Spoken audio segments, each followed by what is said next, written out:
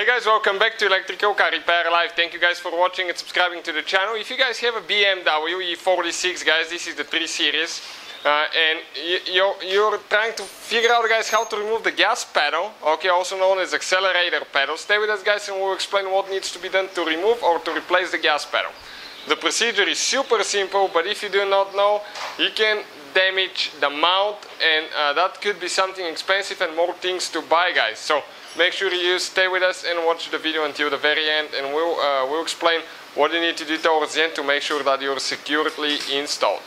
Now this should work on a 3 Series BMW from year 1998 to year 2006 E46 generation.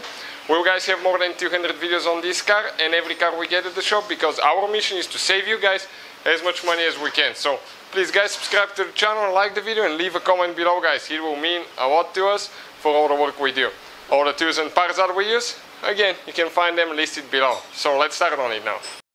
So let me show you guys how you do that now. Okay, it's super simple. All we need to do, get a flathead screwdriver, okay, like this one here. Now, let me show you, okay, whether you have automatic or manual transmission, the procedure will be the same. This is your gas pedal, guys, okay, right here. So, how you, how you guys remove that thing? Okay, pretty simple get a flathead screwdriver now. Okay I'm going to get a second person to come and hold the camera quick. Okay so I can work. Okay now right here there is one white clip.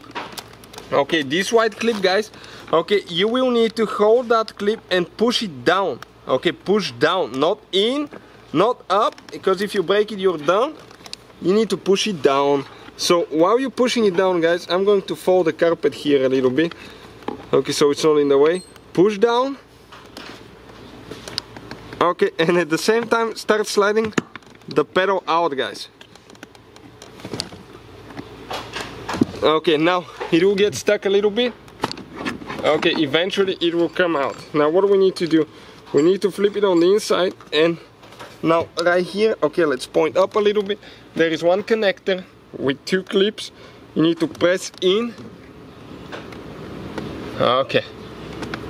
Press in pull out okay and now guys before we show you the pedal okay this is the mount right here. And if you break that mount okay this is uh, this is the tooth that we press in. If you break it you have to remove it with uh, you can see here with an allen wrench uh, remove it. And you will need to guys replace it with a new one. This is your gas pedal out of the car. That's how you guys remove it. Now that's the sensor right here that detects the movement and all that stuff. So in most cases, okay, if you, uh, sometimes you can just find that part, okay, so you don't have to buy the whole assembly. But pretty much guys, okay, this is it. This is the whole, the whole assembly and uh, putting it together, okay, it's in reverse order that we took it apart.